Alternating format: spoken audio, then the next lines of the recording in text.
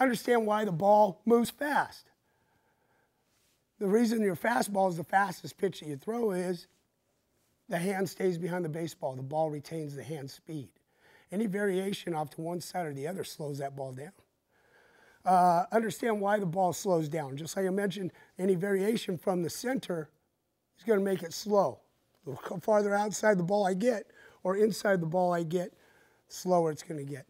Uh, practice in a manner in which location is a priority. You know, uh, weighted balls, uh, the whole Driveline, throwing programs, the long toss, um, you'll find that our young men have to spend more time knowing where this ball goes.